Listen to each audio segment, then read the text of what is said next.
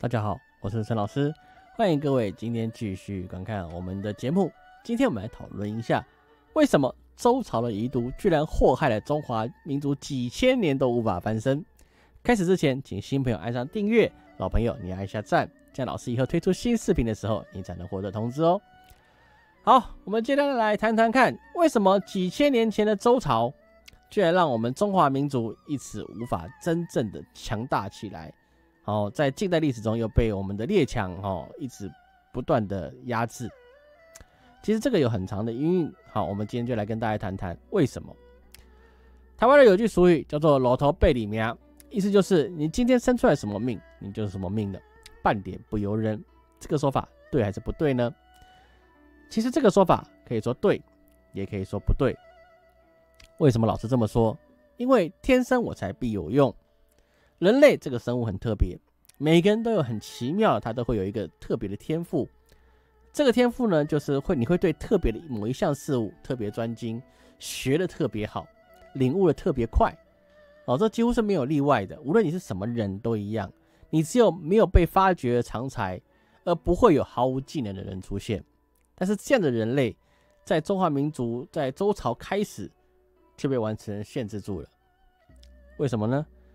有听过老师《中美贸易战》第二集《川普与纣王》的那一篇，老师就有说过，中华民族整个的发展都是被周朝陷害的，然后一直被打压了四千年，你没有办法摆脱它，直到近代你才有一个机会慢慢的解开。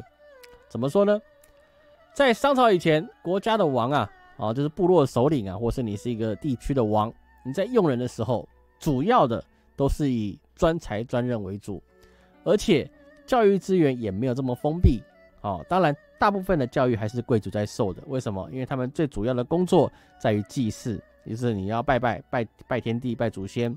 那这些方法必须记录下来，然后再传承下去，不然的话，你上一代会拜，你下一代就不会拜了。那对他们的理智是不对的。那在商朝开始呢，就已经有学校的一个建设基础了。所以是说，因为农民他要耕作，那贵族他是有。特权，所以说贵族受的资源、教育资源是比较多的。但是我们可以从什么上皇武帝的记录来看，出任你部落官员的不一定是贵族啊，你接替王位的也不一定是血亲啊，不一定是直系血亲。用贤为才，政治制度大部分都是以代议制度的共和统治为主。这个其实是我们中华民族文化的一个极早的起源。那但是呢，周朝开始就一切都不一样喽。我们的周武王姬发，他本身是靠革命起家的，所以是说他特别怕革命分子怎么样，像他一样去再兴起一次革命，然后呢，像自己去迫害那个商纣王一样，帝辛一样，这样子就很不好了。想是说啊，怎么办？怎么样让以后的反革命分子不要出现？怎么想呢？就想一想，好吧，那就不要让未来产生跟我一样的人就好了。怎么样不要跟他产生一样的人呢？因为他是外部的诸侯王，所以是说周武王他那个期待的封建制度是一个真正的封建制度了。怎么说？过去的封建制度，部落的王或者是贵族，顶多你日子过得比较滋润，但是你不用耕田，你可能不用狩猎，但是你要去当官，没门儿。你要看你的实力哦。才有可能去当官，但是周武王不一样，你今天当了皇帝了，你要分封天下了，大封我们的功臣了，主要是要什么为主呢？不是你的战功，也不是你的能力，要先看你姓什么。哦，你是姓姬的吗？你是氏姓吗？你是姬姓吗？或者说你是我们相关的种族吗？宗宗族下来的人吗？不是，不是。你旁边等一下，我们先来看看我们自己人先封。那除了有些例外的，比如说像姜子牙，他是非常重要的角色。没有姜子牙就没有周武王，也没有周文王，所以说姜子牙他就是特别特例的，你封在外地。那其他不是他们宗族的，也有封地的，就包含什么尧舜禹尧尧尧帝、舜帝跟禹帝他们的子孙，圣王武帝的子孙，神农氏的子孙，伏羲氏的子孙，因为他们本来就有部落的规模。你今天建立天下的时候，如果你不封他，他不爽，他也可以组织反叛势力来来来革命你啊。所以说像这些。地方的首领也被封了官，那他的将领呢？大部分就没有封官了，因为你不信我，你不是我家的人，哎，你不是我这个家族的人，你就没封到。比如说像谁，像这个后来的春秋战国的楚国楚霸王，他们的祖先颛顼就其实就是周武王的火官。什么是火官呢？火官就是专门管天火跟地火的。什么是天火跟地火？天火就是就是天文，他必须要替周武王哈去看这个天象，指点你部队要怎么行进。因为过去你没有罗盘嘛，那指南车也不见得是怎么样去用，也没那么普及，所以是说他必须要透过天文看星星的位置来决定我们行进的路线。那也要看天文来决定说这个天候的好坏，你要不要发起进攻或防守。当然还有地火，地火就包含了你的部队里面的用火跟能源的管辖，也是火官来管制的。那代表说这个官员是很重要的。可是这么重要的官员，到周武王大封天下的时候，就发生什么事情了？你很专业没有错，但是你不是大家族的人，你不大家族的人，所以我也不用给你什么样的脸色看了。那你就打完了，你收工吧，反正你也没部署，你也没钱财，就叫你滚了。跟着周武王打遍天下了，然后时间到了，什么都不封你，你回家吧。所以说后来的楚国，他是靠什么？靠自己去凝结他自己的百姓，后来才成为一方之霸。当然，这样起来的楚霸王，他对于周朝的周王朝的感受其实就很不好，他非常非常不爽周王朝，好不好？那其他的话，来我们再看看周朝的官位啊，就是因为他是以亲戚为主，所以是说他的官位有很多东西。居然也是世袭的，官位是世袭的哦。你如果你爸是主任秘书，你就是主任秘书；你爸是监察委员，你就是监察委员。那社会的管理也非常的严谨，扣什么呢？你这些贵族哦，跟一般百姓用的法不一样。你贵族用的是礼法，好用礼去规范你，用礼哦，只用礼，好礼仪去规范你，你的行为跟你事情的准则。那百姓呢，就是用法法律，哦法律来规范你。所以说当时出现一句话叫什么呢？礼不下庶人，刑不下大夫。意思就是什么呢？贵族，你无论犯什么错，你都用去礼去规范你，好让你去反省，让你教化，可教化。那如果你是百姓呢？抱歉，你不用教化了，你就是一定是要受刑罚。好，所以说从这里开始，中华民族就被严格的阶级制而定义了。后面几千年呢，无论是汉朝、唐朝、宋朝、元朝，这些都是强盛的国家。但是无论谁当了皇帝，然后贵族就来当官了。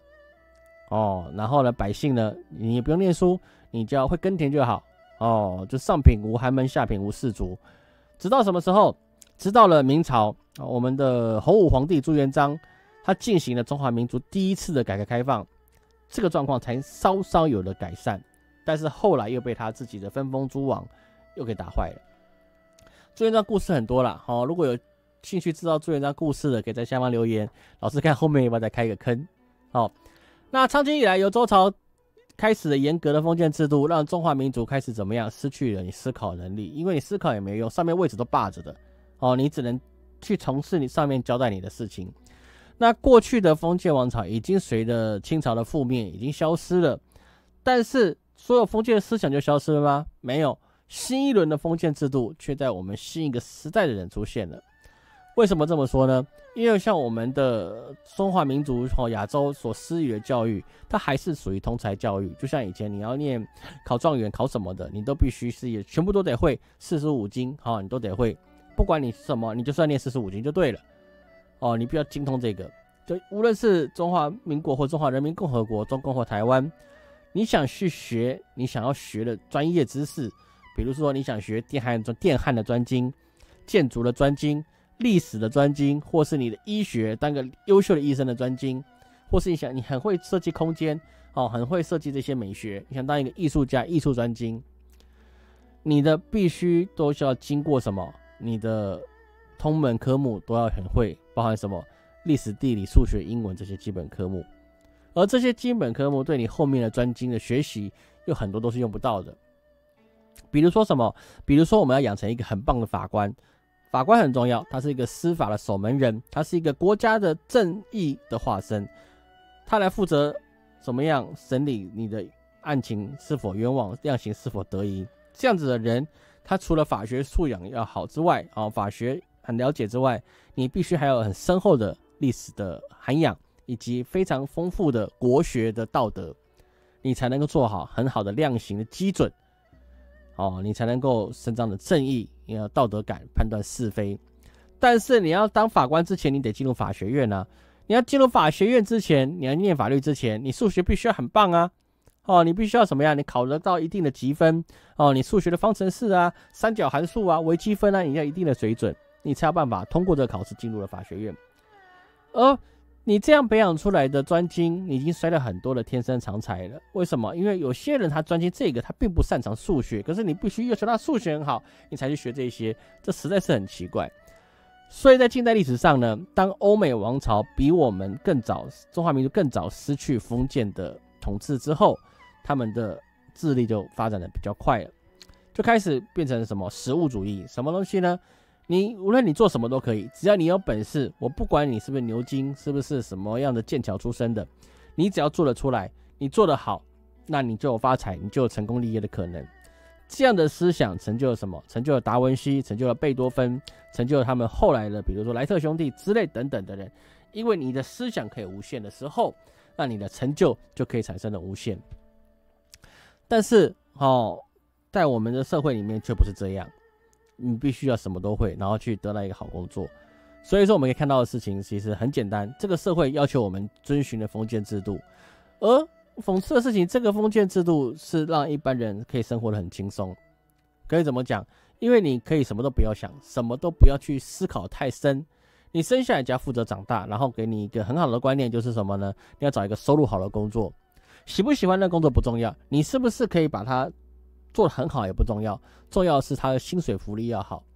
而这个教育制度其实为了就是创造一群可以不断的为了领导阶级工作的公益，然后终其一生不断为了收入二字去工作，收入成为衡量专才的指标，思考反而成为了什么不切实际的动作。而很奇怪就是，当这个世界上最成功的领导人以及顶尖人士，包含什么？我们中华民国的经义之神王永庆。现在的首富郭台铭，哦，还有我们日常用的 Google 的创办人，用脸书，脸书的创办人，电脑用的比尔盖茨的微软，他们其实也都不是这些制度下所产生的成品，他们是靠了自己的理想跟抱负，而且穷尽一生的想办法去努力的达到它，而他们成功了。所以说。很多人去看破了这世界的潜规则，然后用尽了全力去追逐他自己的梦想跟理想的时候，很多人人生就开始不一样了。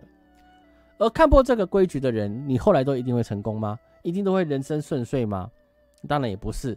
比如说创业，创业路上那个尸骨遍野啊，是不是？所以说重要是什么？重要是当你人生自觉之后，你还有一个东西很重要，你要懂得选择。选择是非常重要的。当你选择的对。那你就功成名就。当你选择的不适合，那你可以预见的就是功败垂成。今天因为时间的关系，好，老师今天不够时间跟各位讲这个选择。下一集老师要跟各位分享一下，怎么选择可以成为你人生胜利的关键。请新朋友务必按订阅，老朋友务必按赞。下方有老师推荐视频的列表，欢迎各位新朋友来看看，老朋友来回顾一下。若你需要老师的专业命理咨询，请在推荐视频列表最下方有老师的联系方式，欢迎你跟老师联系。我是陈老师，我们下次见。